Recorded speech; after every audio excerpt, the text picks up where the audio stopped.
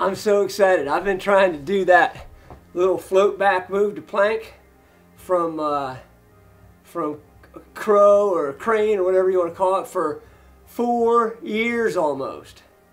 And I finally did it last week and then today it was even easier. Probably doesn't look the great, most graceful yet, but that's awesome for me. Uh, what are you doing that, uh, you know, your personal best in your workouts these days?